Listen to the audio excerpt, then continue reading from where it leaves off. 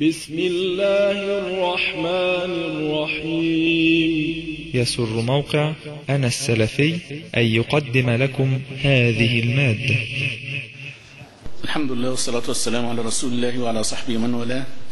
وأشهد أن لا إله إلا الله وحده لا شريك له وأشهد أن محمدا عبده ورسوله. أما بعد يقول ما حكم الأحزاب وإنشاء حزب وقد علمنا أن الدعوة السلفية تريد إقامة حزب وجماعة أنصار السنة تخالف هذه الفكرة. يعني الأحزاب التي تتحزب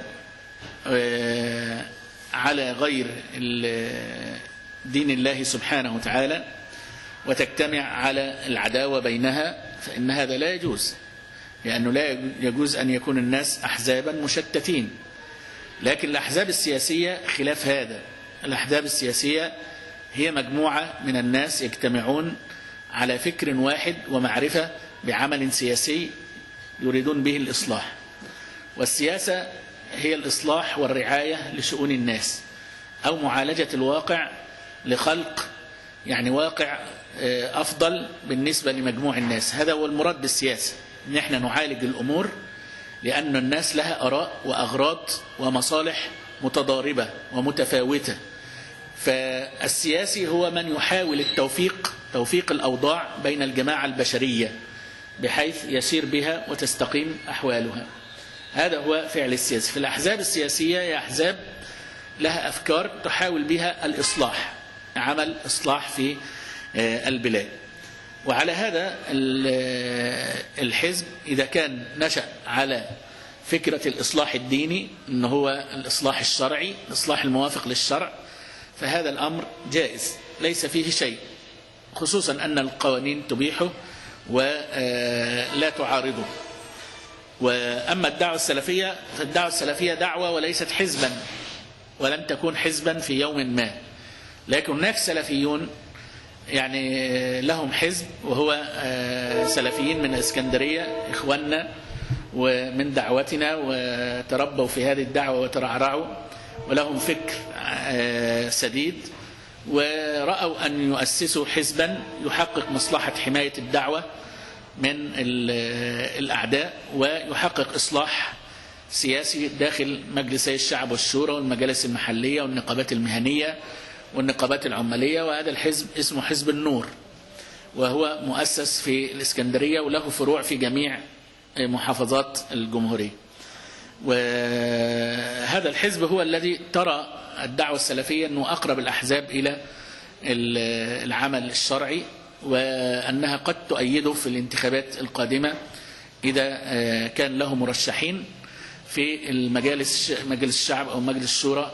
الدعوة سوف تناصر هذا الحزب وتؤيد مرشحيه كما أنها ستؤيد كل المرشحين الصالحين سواء كانوا من هذا الحزب أو من غيره من الإخوان المسلمين أو من جماعة أنصار السنة أو من الجمعية الشرعية أو من الجماعة الإسلامية أو حتى من جماعة الجهاد أو من علماء الأزهر الأفاضل اللي لهم يعني معرفة بالشرع ومعروفين بالصلاح. لو أنهم رشحوا أنفسهم الدعوة ستختار من تكون فيه الصفات الصلاح والتقى ومن يحقق مصلحة المسلمين ويستطيع أن يقدم خدمات للمسلمين ويدفع عنهم الضرر ويوقف الفساد الذي يكون في البلد.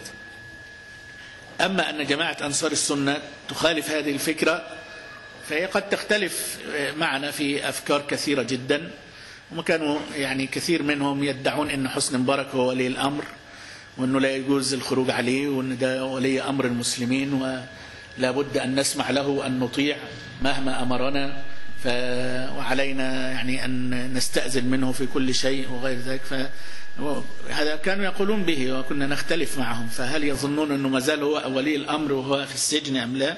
الله أعلم لا أعرف ما يعني ما هذا أما حكم من يترشح للرئاسة أو مجلس الشعب عموما الرئاسة ومجلس الشعب ولاية ولا يجوز للإنسان أن يطلب الولاية لا يجوز للإنسان أن يطلب الولاية وإنما ينبغي أن يزكى هو الناس هي اللي تزكيه هي اللي ترشحه هي اللي تقول هذا يكون علينا رئيس لا أن يرشح هو نفسه ويزكي نفسه ولكن هذا في دولة الإسلام. وإحنا مش عايزين نخلط بين هذه الدولة الموجودة اللي هي ليست بالطبع على نظام إسلامي وإنما دخلنا فيها مش لأنها دولة ذات نظام إسلامي. إحنا دخلنا محاولة إصلاح الواقع. إحنا في واقع موجود إن دي دولة على غير النظام الإسلامي وبالتالي إحنا دخلنا فيها في محاولة لإصلاح الواقع الموجود وعدم إقرار هذا الواقع. وليس إقرارا بهذه الدولة. ليس إقرارا بهذه الدولة وبالتالي مش عايزين ناخد شروط التي ينبغي أن تتوافر في الدولة الإسلامية ونحاول نطبقها على الدولة الموجودة لأن هذه دولة ليست على نظام إسلام ليست على نظام إسلام. وبالتالي إحنا قلنا طلب الولاية من الكافر هذا الطلب قلنا أنه إذا كان الطالب هنا يرى أنه أهل وأنه يستطيع أن يحق الحق ويبطل الباطل ويحقق مصلحة المسلمين ويدفع عنهم الضرر ويقلل الشر والفساد ويزيد من الخير والصلاح فإنه يجوز له أن يرشح نفسه. يجوز له في هذه الحالة أن يرشح نفسه. وقلنا أن يوسف عليه السلام قال لفرعون مصر وكان كافرا وكانت دولته كافرة. قال في, في هذا اجعلني على خزائن الأرض إني حفيظ عليم. فطلب ولاية يحقق بها الصلاح للناس ويحقق المنفعة ويحقق الخير ويدفع عنهم الفساد ويقلل الشر في البلاد. مع أنه لا يستطيع أن يفعل كل شيء ما يقدرش يعمل كل حاجة صالحة. حتى يوسف عليه السلام في دولة الفرعون لم يكن يستطيع أن يفعل كل ما يمليه عليه الشرع لأنه الدولة كانت سترفض هذا لكن كان يفعل ما يقدر عليه.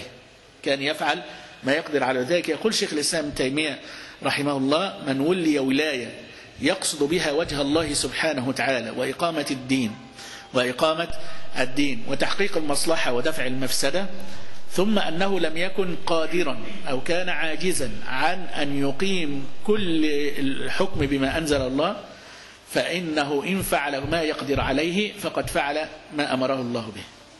فهذا يعني الأمر من هذا المنطلق هو يكون تكون المشاركة وهي تقليل الشر والفساد وزيادة الخير والصلاح. وإيقاف نزيف الذي نزيف القوانين التي تصدر مخالفة للشريعة الإسلامية. طبعا مع وجود الدستور اللي موجود اللي هو بينص على أن الشريعة الإسلامية هي المصدر الرئيسي للتشريع وأن هذا النص المفترض أن إحنا نفعله لأن هذا النص بيمنع صدور أي قانون مخالف للشريعة الإسلامية ويعد باطلا وغير دستوري. وهذا أيدته المحكمة الدستورية العليا في القرار الصادر سنة 1996 أنها أصدرت قرارا تاريخيا في أن المادة الثانية من الدستور تجعل كل قانون يصدر مخالف للشريعة الإسلامية يعد باطلا دستوريا. يعد باطلا دستوريا. وهذا هذا موجود النص في الدستور وأيضا حكم المحكمة الدستورية العليا وهذا حكم غير قابل للنقد. هذا حكم غير قابل للنقد. على أن كل قانون يصدر مخالف للشريعة الإسلامية فهو قانون يعد باطلا. وبالتالي إحنا المشكلة الموجودة في القوانين مش القوانين اللي بعد 96 القوانين اللي قبل 96 لأنه القانون أيضا المحكمة الدستورية قال أن القوانين الصادرة مخالفة للشريعة الإسلامية.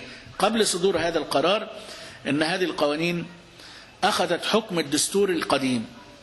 أخذت حكم الدستور القديم فبقى لها قوة القانون قوة الدستور. فهذه اللي إحنا عايزين نغيرها ونبدلها ونأتي بقوانين موافقة للشريعة الإسلامية. أما السؤال الأخير يقول ما الفرق بين الدعوة السلفية وجماعة أنصار السنة والجماعة الإسلامية والجماعة الشرعية والتبليغ والدعوة؟ هي عموما في الجملة جماعات دعوة إلى الله سبحانه وتعالى. لكل منها يعني منهج وبرنامج. قد يكون في بعض يختلف عن البعض الآخر. بعض يرى أن غيره على خطأ في بعض المسائل والوسائل وغير ذلك. لكن في النهاية القصد عند كل هؤلاء أنهم يقصدون إعلاء كلمة الله سبحانه وتعالى ولعلنا نلتقي. يعني هو اللقاء قرب.